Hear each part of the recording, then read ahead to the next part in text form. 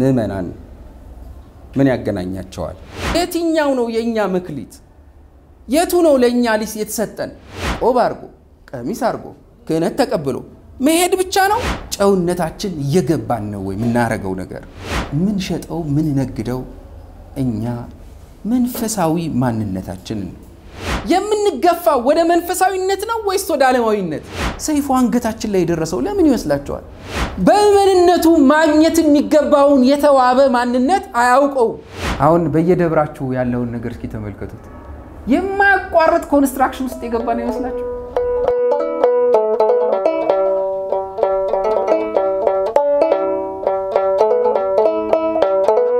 በስመ አብ ወወልድ ወመንፈስ ቅዱስ አሐዱ አምላክ አሜን። በስመ አብ ወወልድ ወመንፈስ ቅዱስ አሐዱ አምላክ አሜን። በስመ አብ ወወልድ ወመንፈስ ቅዱስ አሐዱ አምላክ አሜን። በአብ ስም አምኜ አብን ወላዲ ብዬ፣ በወልድ ስም አምኜ ወልድን ተወላዲ ብዬ፣ በመንፈስ ቅዱስ ስም አምኜ መንፈስ ቅዱስን ሰራጺ ብዬ ምንም ላይ ጠይቁ አካላት በስም በአካል በግብር ሶስት ብልም በመለኮት በአገዛዝ ይህን በመፍጠርና ማሳለፍ አንድ አምላክ ብዬ በማመን በሁለት ወገን ንጽሕት ቅድስት ድንግል በምትሆን በእመቤታችን በቅድስተ ቅዱሳን በድንግል ማርያም በመተማመን ረድኤተ እግዚአብሔርን አጋዥ በማድረግ የእግዚአብሔርን ቃል መስማት ማሰማት እጀምራለሁ። በሁለት ወገን ንጽሕት ያልኩት በሀሳብም ብትል ንጽሕት ናት፣ በስጋም ብትል ንጽሕት ናትና ነው። አንድም ከመጸነሷ ፊት ድንግል ከጸነሰችም በኋላ ድንግል ናትና፣ ከመውለዷም ፊት ድንግል ከወለደችም በኋላ ድንግል ናትና እናትነትን ከድንግልና ድንግልናን ከእናትነት አስተባብራ የተገኘች ማምላክ ወላዲተ አምላክን አጋዥ ማድረግ የተገባ ነውና ነው። ረድኤተ እግዚአብሔርን አጋዥ ያደረግኩበት ምክንያት እግዚአብሔር አምላክን አጋዥ ካላደረጉ ማር፣ አስተምር፣ እጽፍ፣ ደጉስ፣ አነብ፣ ተረጉም ቢሉ የማይቻል የማይታሰብ ሆኖብኝ ነው። አምላክ ዘላለም ማለቴ ከምድራዊ ንጉሥ ከምድራዊ ገዢ ስለየው ነው። ምድራዊ ንጉሥ ምድራዊ ገዢ አንዱ ሲሾም አንዱ ሲሻር ነው። ሥላሴ ግን ቅድመ ዓለም ማዕከል ዓለም ድር ዓለም አልፋና ኦሜጋ ዘላለማዊ ንጉሥ ናቸውና ክብር ይግባውና ስሙም ይመስገንና በቃል መነገሩ በአንደበት መመስገኑ ከፍ ከፍ ይበልና ባህሪን በባህሪ የሚሰውር አምላክ ቅዱሳንን በክብራቸው የሚሰውራቸው አምላክ የተሰወረውን የወንጌል ምስጢር ለእኔ ለእናንተ ይግለጽልን። በክርስቶስ ክርስቲያን በወልድ ውሉድ በመንፈስ ቅዱስ መንፈሳውያን የተሰኛችሁ የእግዚአብሔር ልጆች እንደምን አላችሁ? እንደምን ከረማችሁ? እንደምን ሰነበታችሁ? የአምላካችን ስም ዛሬም ዘወትርም የተመሰገነ ይሁን። እንግዲህ ዛሬ ገብርኄር ነው። ብዙ እንደተማርን የሚታወቅ ነው። ነገር ግን አንድ ከገብርኄር ትምህርቶች ውስጥ አንደኛውን part ለማየት እንሞክራለን። ገብርኄር ለምእመናን ምንድን ነው የሚጠቅመው? ለአገልጋዮች ነው ወይስ ለምእመናን ነው የሚለውን ነገር ማየት ያለብን ይመስለኛል እና ታማኝ አገልጋይነት እና ምእመናን ምን ያገናኛቸዋል? ህዝባውያኑ ክርስቲያኖች ናቸው። ህዝባውያን አገልጋዮች ናቸው ወይ ወይስ ደግሞ አይ ሁልጊዜ የሚገለገሉ ናቸው? ይሄንን መጠየቅና መመለስ የሚያስፈልግበት ጊዜ ነው። ለምንድን ነው ምእመናን ሁልጊዜ ተማሪ ሁልጊዜ ተገልጋይ፣ ሁልጊዜ ጠያቂ ብቻ ናቸው። እንደምናየው እኛ ሁላችንም እንደዚህ ነን እና የሚነገረው ለየትኛው እንደሆነ ብዙ ሳይገባን የተሰጠንን መክሊት ደባቂዎች ሆነን እንዳንገኝና ፍርዱ ሲመጣ ወይም ደግሞ ሊጠይቀን ሊያወራርድ ሲመጣ እጃችን ላይ ያለው ምን እንደሆነ ስለማናቀው ከቀበረው ከክፉ አገልጋዩ ልንመደብ እንችላለን። ስለዚህ የምእመናን ድርሻችንን ማወቅ በጣም የተሻለ ነገር ነው። ለምንድን ነው? እንደምናየው ዘመናችን ክፉ ከመሆኑ የተነሳ ብዙ ምእመናንን በማይፈለጉ ቦታዎች እናገኛቸዋለን።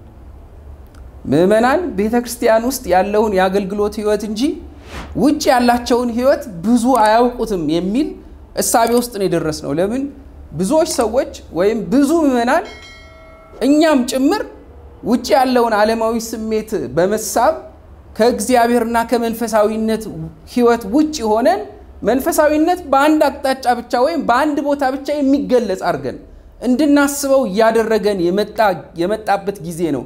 ይሄ ደግሞ የመጨረሻው ዘመን ሂደት ነው። ስለዚህ ለዚህ ሂደት ደግሞ ነክቶ መጠበቅ የአንድ ምዕመን ወይም የአንድ ክርስቲያን ዋና ተግባሩ ነው። ስለዚህ የትኛው ነው የእኛ መክሊት? የቱ ነው ለእኛ ሊስ የተሰጠን? ባለ አንድ ነው? ባለ አምስት ነው? ወይስ ደግሞ የትኛው ነው መለየት ያስፈልጋል። እና ይህንን ለይተን መገኘታችን በትክክል የምንሰራውን እያወቅን እንድንሄድ ያደርገናል። በመጀመሪያ ደረጃ ክርስቲያን ምንድን ነው የተሰጠውስ ምንድን ነው የሚለውን ማሰብ ያስፈልጋል። ክርስቲያን ማለት ቆብ አድርጎ ቀሚስ አድርጎ ክህነት ተቀብሎ መሄድ ብቻ ነው ወይስ ደግሞ ቀሚስ ለብሶ ነጠላ አድርጎ ወደ ቤተ ክርስቲያን መገስገስ ብቻ ነው? በዓለም ምንድን ነን እኛ ክርስቲያኖች? ለዓለም ምንድን ነው የምንሰጠው?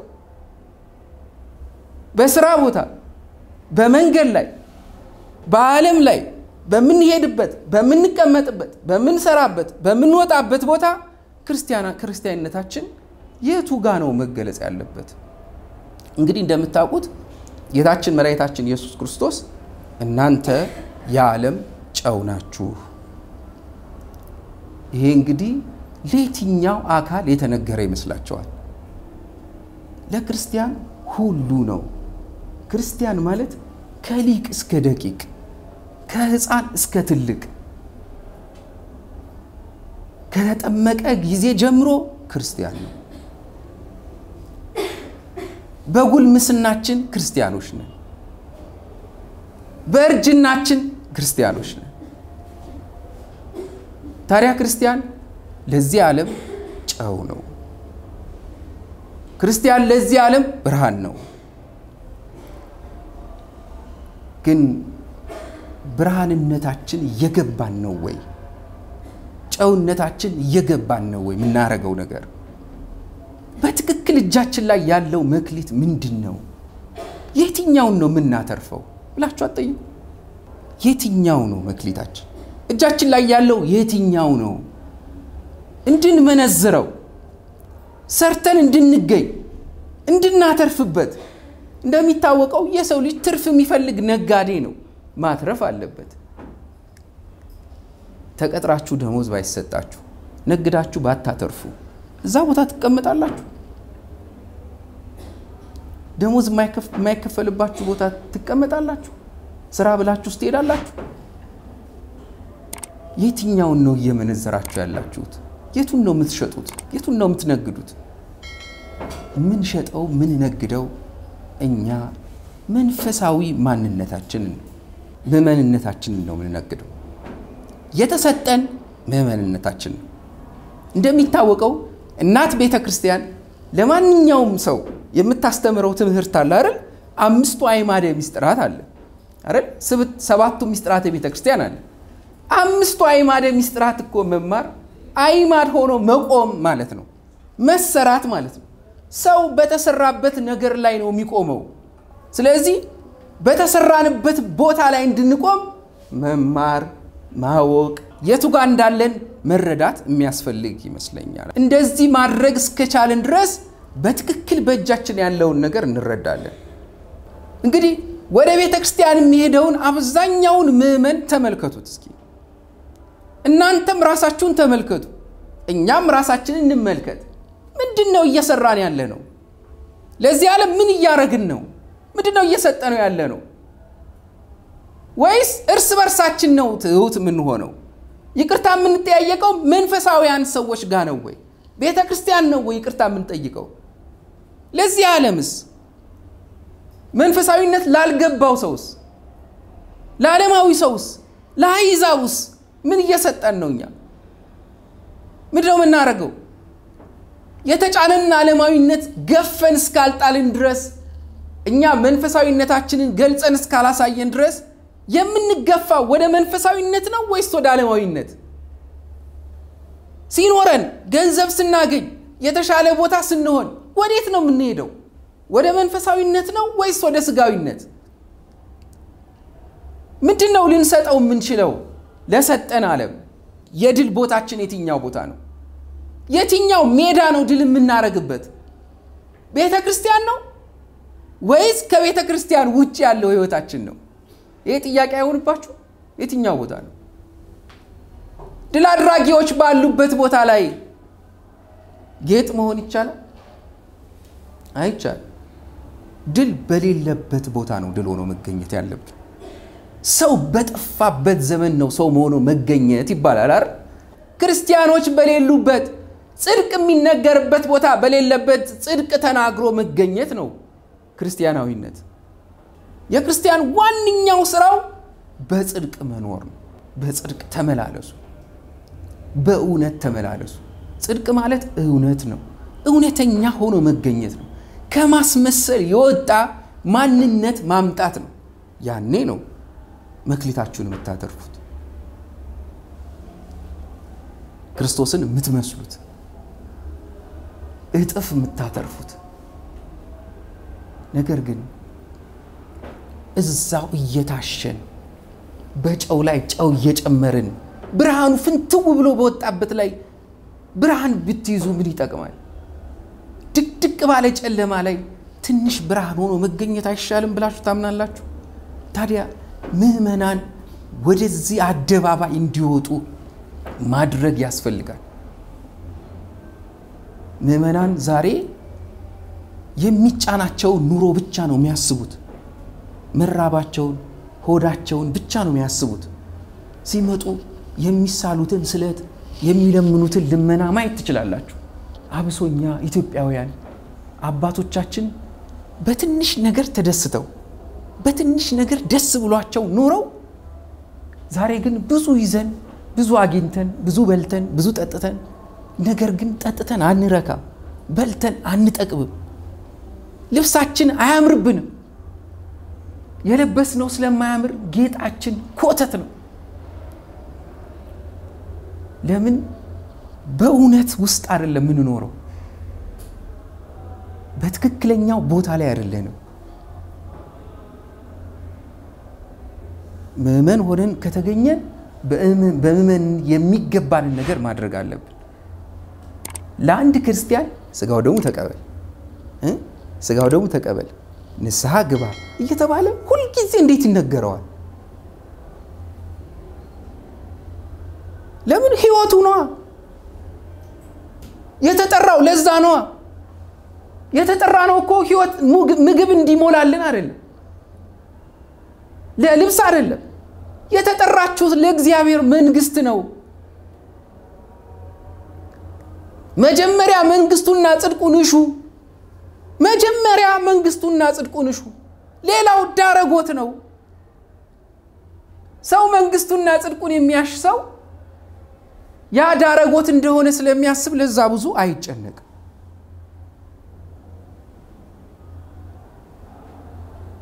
ስለዚህ ሁሉም ምዕመን መጀመሪያ ማሰብ ያለበት መንግስትና ጽድቁን ነው። መንግስትና ጽድቅ የሚገኘው ደግሞ በጽድቅ መመላለስ ነው፣ በእውነት መመላለስ ነው። ራሳችንን መመለስ ያለብን ይመስለኛል። ይሄ እንግዲህ ትንሹ መክሊት ነው። አሁን መጽሐፍ ጥቀሱ፣ ተርጉሙ፣ አንድምታ ተናገሩ፣ ቅዳሴውን ተርጉሙ፣ ሰዓታቱን ተርጉሙ፣ መጽሐፍ ቅዱስን ተርጉሙ የሚለን ሰው የለም። በጽድቅ ተመላለሱ። ጽድቅ ማለት ደግሞ ክርስቶስ ነው። ክርስቶስን ምሰሉ። ክርስቶስን መምሰል ትልቁን አባት መምሰል ብቻ አይደለም፣ ትህትናውን ምሰሉት፣ እውነተኝነቱን ምሰሉት። በእውነት ተመላለሱ። ማስመሰልን አውልቀን መጣል ያለብን አይመስላችሁ? አሁን እውነት በጠፋችበት ቦታ ክርስቲያን ሆኖ መገኘትን የመሰለ ውብ ነገር የለም። ስለዚህ ክርስቲያናዊነትን በደንብ መለማመድና ማወቅ ያስፈልገናል። የመጀመሪያው መክሊታችን እሱ ነው። በጽድቅ ተመላለሱ፣ እውነት ተናገሩ፣ በእውነት ኑሩ። ለምሳሌ ሁለት ባልና ሚስቶች መራዊና መራቱ ማለት ነው። ሁለቱ ቀድሞ ስላጠፉት ድንግልናቸው ብትጠይቋቸው ከመናገር ይልቅ እውነት መናገር ነው የሚሻለው። ለምን? ወደ እውነት አደባባይ ለመውጣት ስለሆነ። ምን ይጠቅማቸዋል? በውሸት ተክሊል አድርገው ተውበው ተክሊል እንዳገባ ሰው ተጸልዮላቸው ቢወርዱ ምስክሩ ማን ነው? እውነት ነው። አምላካችን እውነት ነው። የእውነት ነው የሚያደርገው። ሲሰጣችሁም የእውነቱን ነው የሚሰጣችሁ። ስለዚህ አጥፍቻለሁ፣ በድያለሁ ብሎ መቅረብ አይሻል? ያኔ እውነተኛው ነገር ይሰጣቸዋል።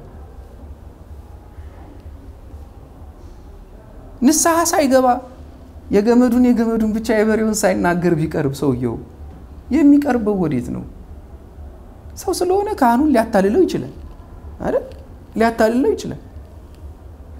ግን ያጠፋውን ተናግሮ ወደ እውነቱ አደባባይ መውጣት አይሻልም? ለምን? ለእውነት ስለሆነ ስንወጣ ነው የሚጠቅመን። ከዛች ቤት ወጥተን ስላለው ህይወታችን ነው የሚጠቅመን። የምንበላው እኮ ለዚህ ነው። ለምን ይመስላችኋል? እሳትም ይበላል። ሰይፉ አንገታችን ላይ የደረሰው ለምን ይመስላችኋል? በምዕመን ተራ እንኳን መሆን አልቻልንም። ገና ህዝባዊ ነን፣ አልወጣንም። በህዝባዊነት እንኳን አይደለንም። የሚገርፈን ያስፈልገናል። አይመስላችሁ? ጻድቁ አባታችን አቡነ ተክለ ሃይማኖት በጣም የሚደንቃችሁ ነገር ደቀ መዛሙርት ልጆቻቸውን ሌሊት ሌሊት ጧፍ እያበሩ የአይናቸውን እየዞሩ አይናቸውን ያዩዋቸዋል። የሚነገረው ቃል እግዚአብሔር ካላስለቀሳቸው እነዚህ በሲኦል ሊያለቅሱ ነው። እንዲያለቅሱ ይገርፏቸዋል። አሁን ያላለቀስክ መቼ ልታለቅስ ነው ብለው ማለት እንዲህ የሚገርፈን አያስፈልገንም ብላችሁ ታስባላችሁ? እየተሽሞነሞንን እኮ ነው የምንኖረው። አገም ጠገም ነው ህይወታችን። የት ጋር እንደሆንን እንኳን እንድናውቅ አያደርጉንም። ስለዚህ ስትወጡ ነው ትግሉ። ከቤተ ክርስቲያን ስትወጡ ያለው አክሊሉ ጸጋው ያለው ውጪ ነው። ውስጥማ ሁሉም ትሁት ነው። የሚነገረው እውነት ነው። መልካም እኮ ስፍራ ነው። የለመለመ መስክ እኮ ነው ቤተ ክርስቲያን። በዛ ውስጥ ትሁት መሆን ምን ይጠቅማል? ውጭ ትሁት ካልሆናችሁ፣ ለአሕዛብ ትሁት ካልሆናችሁ ምን ይጠቅማቸዋል? በምን ተርታ ያለውን መክሊት አትርፈን መገኘት ያለብን እኛ ምዕመናን ነን።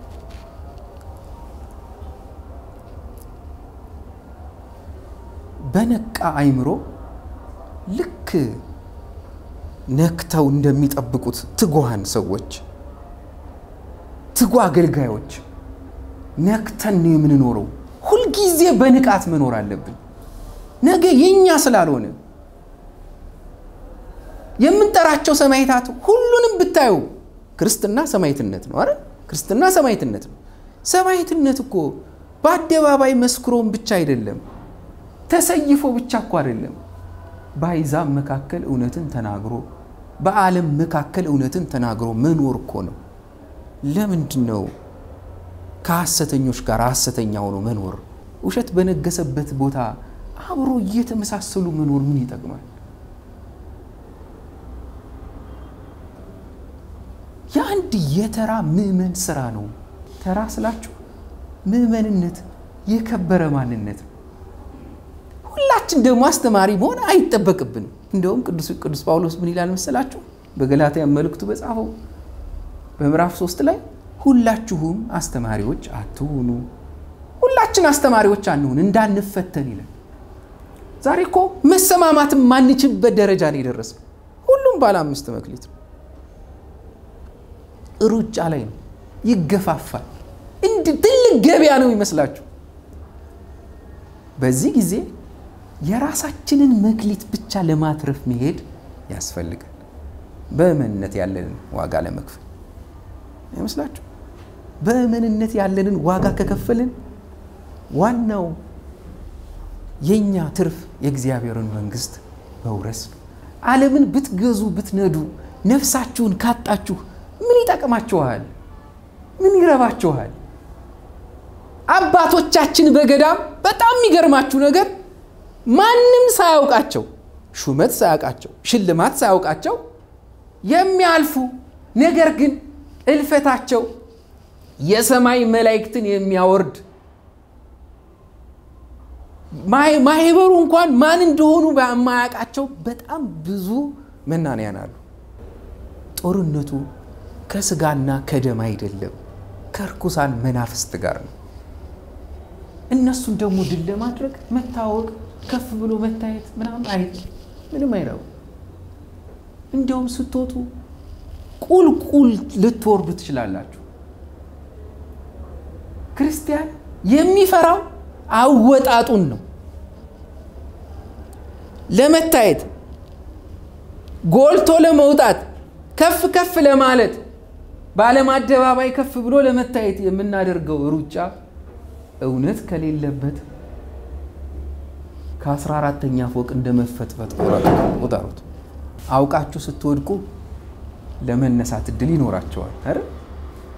ሳታውቁ ስትወድቁ ግን አትነሱም፣ ትከሰከሳላችሁ። ብዙ ከቤተ ክርስቲያን የወጡ አንዳንድ ወንድሞችን ስትመለከቷቸው ወጣ ወጣና እንደ ሸንበቆ ተንከባለለ እንደሚባለው አይነት ነው። ስለዚህ አወጣጣችሁን በትክክለኛው መንገድ ለማድረግ መሞከር አለባችሁ። ከምዕመንነት ለመውጣት በትክክለኛው ምዕመን ሆኖ መገኘት ያስፈልጋል። ከዛ በኋላ ነው ሁለተኛው ማዕረግ የሚገኘው። በደንብ አጣጥሙት ምዕመንነትን። አንደኛውን መክሊት ለማትረፍ ሩጡ፣ ሁለተኛው እንዲደርሳችሁ ብዙ አትድከሙ ለማለት ነው። ከተገኘም ከመውጫው ጋር ይስጣችሁ። ያ ደግሞ ጸሎት ያስፈልገዋል፣ ስግደት ያስፈልገዋል፣ በትክክለኛው ምዕመን ሆኖ መገኘት ያስፈልገዋል።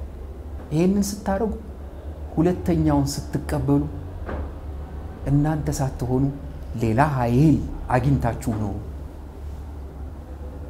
ሌላ ማንነት ወርሳችሁ ነው። ምዕመናዊነታችንን በትክክል ማጣጣም ያለብን አይመስላችሁም? እኔ እንደውም መክሊቱን አታብዛው፣ አንድ ይበቃኛል። እሷም መጀመሪያ ልወጣት አትጨምርብኝ። ስሰጥ ትርፌ ከእጅ የማይወጣ መሆኑን ማረጋገጥ አለብኝ። ለዛ ደግሞ ትጉ አገልጋይ መሆን ያስፈልጋል። ለምንም ነገር የማይበገር አገልጋይነት ያስፈልጋል። ታዲያ ክርስትናችን ምኑ ላይ ነው? ትሁት ካልሆንበት፣ ለዚህ ዓለም የሚያጣፍጥ ጨው ካልሆንን፣ ጨለማውን ዓለም የሚያበራ ብርሃን ካልሆንን ምን ይጠቅመናል? መክሊት ማለት ትክክለኛው መክሊት ማለት ውጪ የምታተርፉበት ነው፣ ቤት ውስጥ አይደለም። አሁን እናንተ ቤት ውስጥ የምትሰሩት ወጥ ጨው ላይ ጨው ብትጨምሩበት ምን ይጠቅመዋል? አያጎመዝዘው? የሚበላው ሰው ይበላዋል? ያ ሁሉ የቀመማችሁት ቅመም እኮ ዜሮ ገባ ማለት ነው። ያበላሸዋል። እርስ በርሳቸውን ትሑቶች ብትሆኑ ምን ይጠቅማቸዋል? ለዚህ ዓለም ካላተረፋችሁበት። ስለዚህ ውጡ፣ ነግዱ፣ አትርፉ፣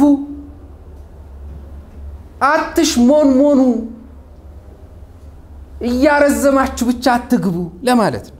ውጭ የማንጠቀምበት መንፈሳዊ ሕይወት ዋጋ የለውም። ልንገራችሁ፣ ዋጋ የለውም። ውጭ ወጥተን ነው የምናተርፍ። ሌላ ደግሞ ታዲያ በገዳም ያለው ሰው እዛ ተቀምጦ ምን ያደርጋል? እንዳትሉ፣ እሱ ሌላ ሕይወት እኛ ሌላ ሕይወት የምንቀበለው። አሁን እናንተ ያገባና ያላገባ እኩል አይነት ሕይወት ይኖራል። ያላገባ እኮ የትም ሮጦ የትም ወጥቶ ወርዶ አፈር ልሶ አፈር ሆኖ ሊኖር ይችላል አይደል? አሯሯጡን የሚቆጣጠረው ማንም የለም። ያገባ ደግሞ ቆንጠጥ ብሎ ዓይኑን ቆጥቦ እግሩን ቆጥቦ ገንዘቡን ቆጥቦ ላቡን ቆጥቦ ነው የሚኖረው። አሳቡን ቆጥቦ ነው የሚኖረው። ስለዚህ ሁሉም የራሱ ድርሻ አለው። በድርሻችሁ የሚገባችሁን ለመወጣት መሞከር አለብን። የድርሻችንን ከተወጣን ዋጋችን በትክክለኛው መንገድ የሚሰጠን አምላካችን የታመነ ነው። ስለዚህ የተዋበውን ምዕመናዊነታችንን አክብረነው ልንኖር ያስፈልገናል። ዛሬ ተራው ምዕመን ነው። በጣም ይገርማቸዋል። ወጥቶ መጋቢ እንትና፣ ቀኝ ጌታ እንትና፣ ግራ ጌታ እንትና እየተባለ የሚጠራው እኮ ይገርማቸዋል። ለምን? በምዕመንነቱ ማግኘት የሚገባውን የተዋበ ማንነት አያውቀውም። ስለዚህ ማንም ይስጠው ማንም ይቀበለው፣ ያንን ካልተጠራበት ይናደዳል። ይገርማቸዋል።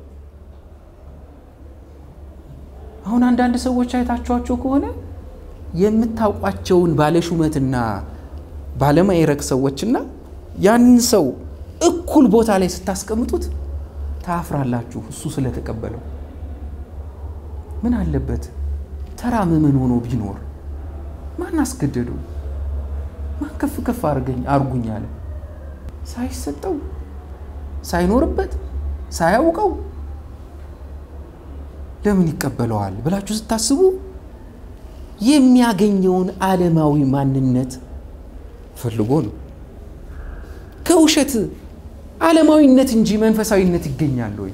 ትንሽ ኖራችሁ በእውነት ብትኖሩ እኮ የሚሻለው። ለምን ሰማያዊ ርስታችሁ እንዲያምርላችሁ እሱ ነው የሚሻለን። ስለዚህ በተሰጠን ልክ መኖርን ማወቅ ያስፈልጋል። ይገርማቸዋል። አሁን ዛሬ የተማርነውን ትምህርት በደንብ አይታችሁት ከሆነ ያ አንዱን የተቀበለው መክሊት ያላተረፈው ሰው ቀብሮ አስቀምጦ ሸሽጎ ያስቀመጠው ለምን ይመስላችኋል? አንዴ እኮ ሳያውቀው እኮ ነው። ሊቆጣጠረው የመጣውን የተናገረውን ታስታውስታላችሁ? አንተ እኮ ክፉ ስለሆንክ ነው። ክፉ ነው ወይ? እሱ ምን ያገኝ ብሎ ይመስላችኋል? አክብሩኝም አይል ክቡር እኮ ነው። አወድሱኝም አይል ውዱስ እኮ ነው። የተመሰገነ እኮ ነው። እኛ እኮ ነው የምንከብርበት። እኛ እኮ ነው የምንመሰገንበት። እኛ ነን ከፍ ከፍ የምንልበት። ምንም እኮ አንጨምርም በሱ። ስለዚህ የተሰጠንን በትክክለኛው ማን እንደሰጠን ማወቅ ያስፈልገናል። ይሄ ደግሞ ክርስትናችን የሚነግረን እሱ ነው። ሲሰጠን አሳውቆ ነው የሰጠን። ማን እንደሆነ አውቀን ተረድተን ለምን እንደምንሰራ ገብቶን ነው የምንወጣው። የምናተርፈው ለምን እንደሆነ ገብቶን ነው። ለዚህ አይለም አይደለም። ለዚህ ነው አባቶቻችሁን በገዳም ብታዩቸው ሊሾሙ ሲሉ በእግር ብረት ታስረው ነው እንዳያመልጡ። ሹመት ጠልተው ሽልማት ጠርተው መንገድ እንዳይለቀቅላቸው ይህ ሰው እንዳይጠፋ ተብሎ በወታደር ተጠብቆ ነው። አሁን እናንተ ብትሆኑ ታደርጉታላችሁ? ምን ቢገባቸው ይመስላችኋል? ተደብቆ መኖርን የሚያክል ዋጋ ያለው ነገር የለምና ነው። ጸጥ ያለ ማንነት ነው ተደብቆ መኖር። ምዕመንነት በጣም የሚገርማችሁ ጸጥ ያለ ማንነት ነው፣ የማያውክ አሁን ትንሽ ነገር ብዙ የሚሸጥበት ቦታ ወጥታችሁ ትንሽ ነገር ይዛችሁ ብትወጡ ቶሎ ሸጦ የሚመጣው ብዙ የያዘው ትንሽ የያዘው? ትንሽ የያዘዋል። ታዲያ ትንሽ መያዝ አይሻላችሁ? ቶሎ ሸጣችሁ እንድትመለሱ። ስለዚህ የተዋበ ማንነታችን ምዕመናዊነታችን ነው ለማለት ነው።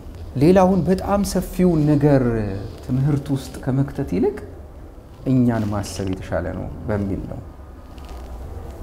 ምዕመንነት ግራ የገባው ማንነት እስኪመስል ድረስ አሁን እንደ ቆሎ የሚዘግነን የበዛው ሰው በምዕመንነቱ ማወቅ የሚገባውን ባለማወቁ እኮ ነው። ምዕመኑ ካህን ነው። ምዕመኑ እንደውም ከፍ ሳይል አይቀርም። አንዳንዴም እንደ ቤተ ክርስቲያኒቷ ራስ ራሱን ሊቆጥር ይችላል። ምዕመን እኮ ያውም ደግሞ የምዕመን እንኳን ወግ የሌለው ቤተ ክርስቲያን ሌላ ሰው ውጪ ሌላ ሰው የሆነ። አሁን አንዳንድ ጊዜ ያሳዝናችሁ ቤተ ክርስቲያንን የሚያስተዳድሩ ምዕመናንን ተመልከቷቸው። በቃለ ዓዋዲው መሰረት የሰበካ ጉባኤ አባላት የሚሆኑትን ይዋቸው እስኪ።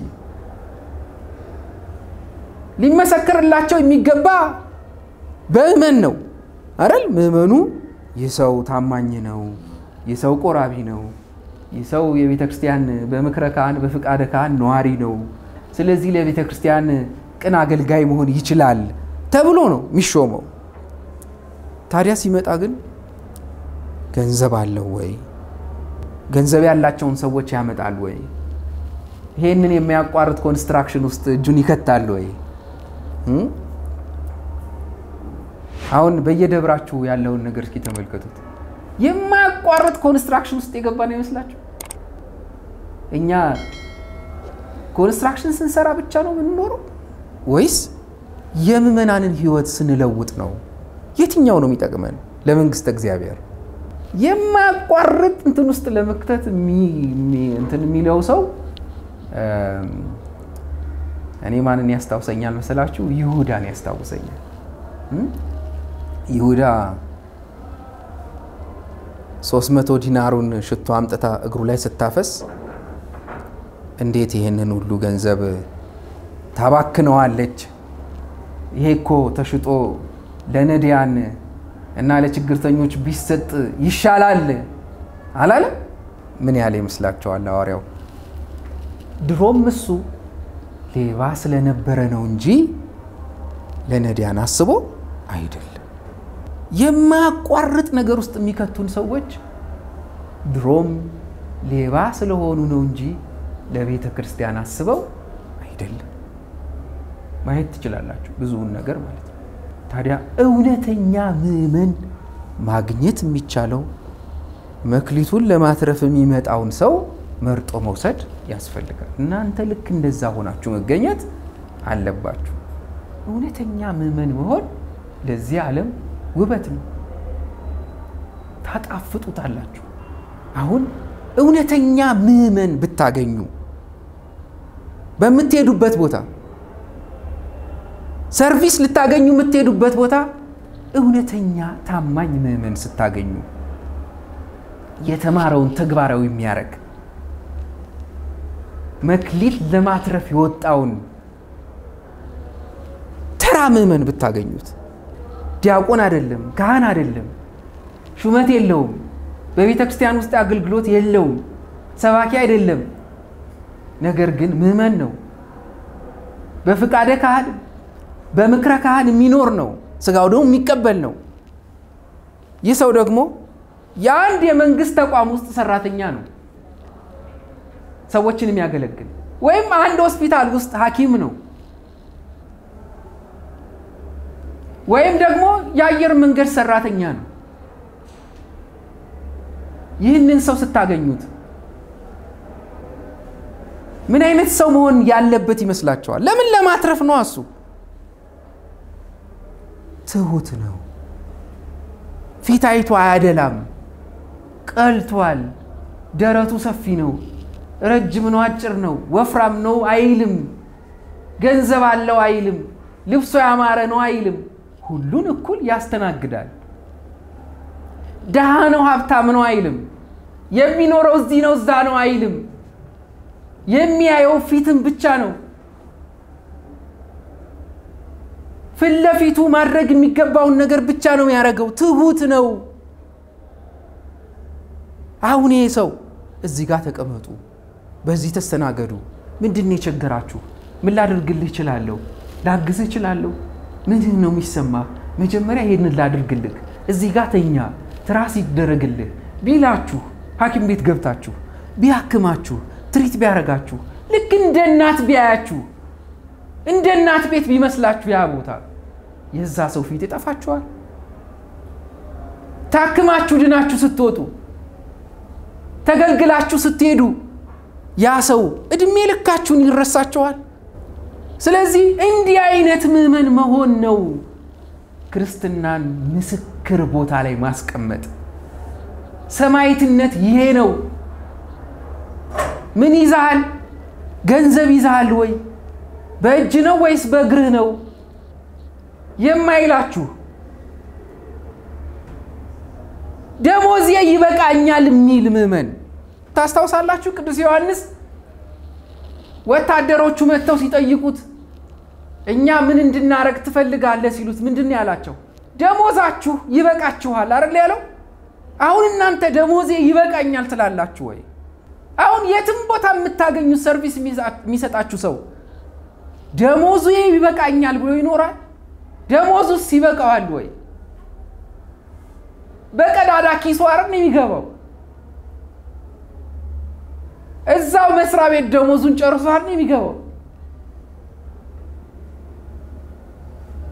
እውነት ጥሩ አስራት ከፋይ ነው ወይ? አይበቃውም እኮ እንኳን አስራት ሊቀንስበት ከዛ ላይ። ስለዚህ ምን ይሆናል ይመስላችኋል?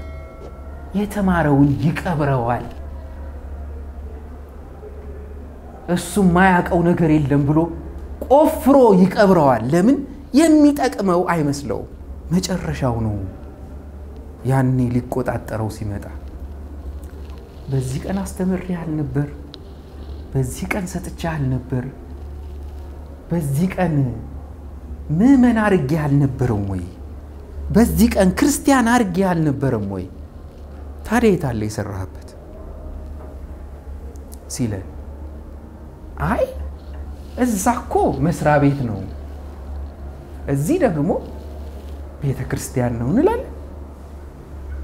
እንዲህ ነው የምትፈልጉት? በዚህ ምክንያት የተበላን አይመስላችሁ? በዚህ ምክንያት እየተቀጣን አይመስላችሁ? እናንተ እኮ የላችሁ። በዓለም ላይ እኮ ክርስቲያን የለም። በአገልግሎት ቦታ ላይ ክርስቲያን የሚባል የለም። ሽታውም የለም፣ ወዙም የለም።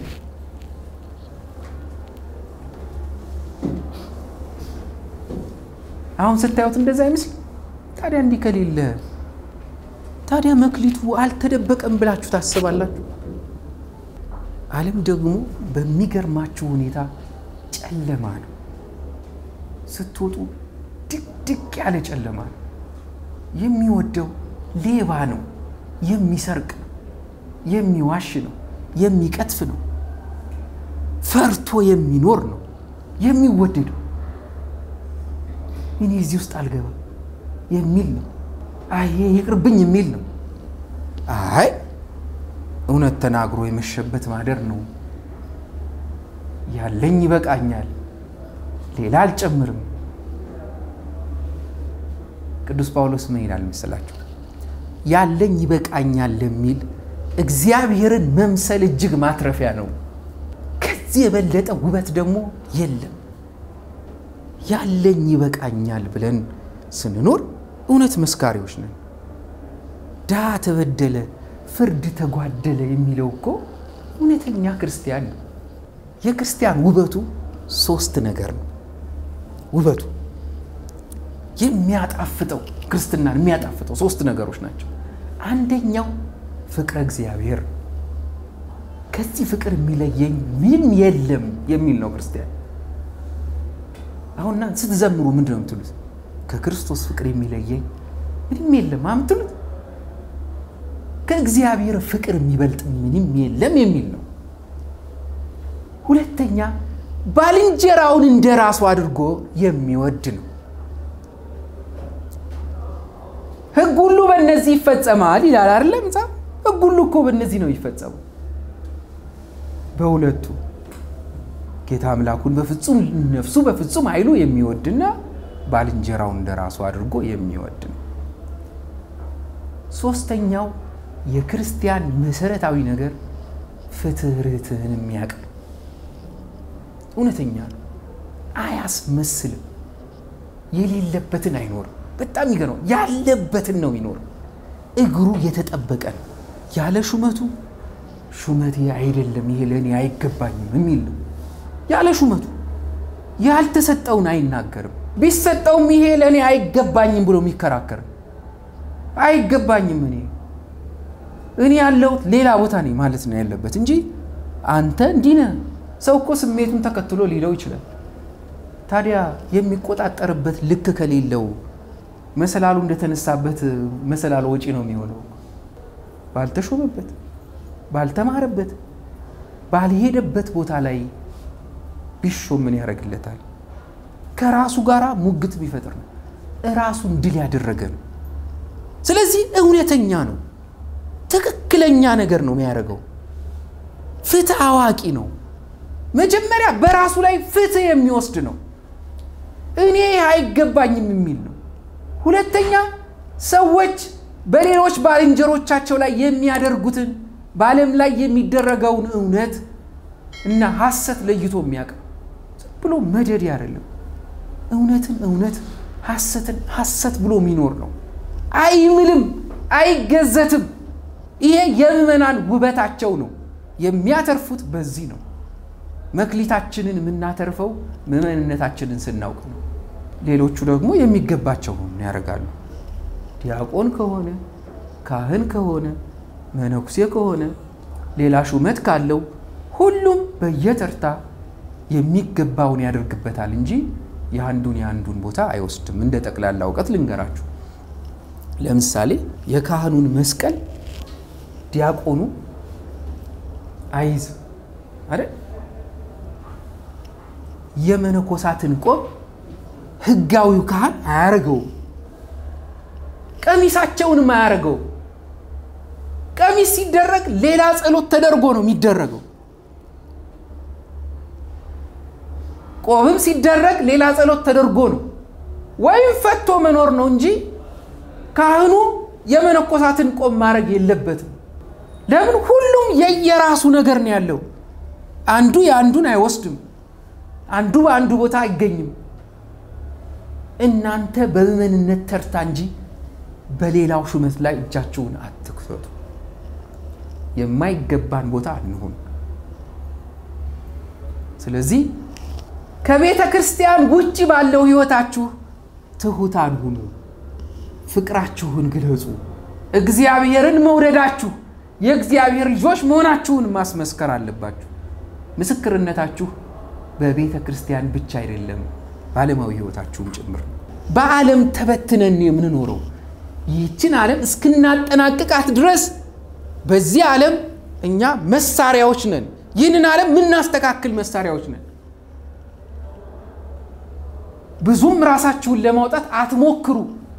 ራሱ ያወጣችኋል፣ ወዶ ፈቅዶ ያወጣችኋል።